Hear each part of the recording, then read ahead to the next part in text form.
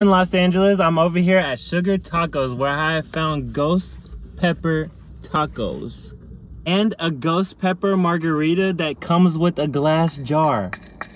I don't want to go home. Lime on there. Ooh.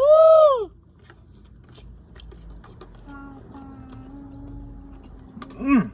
Oh my god. It's so hot, but I like it. Mm, mm, mm. Oh, come on now. Mm. Mm. The ghost pepper margarita.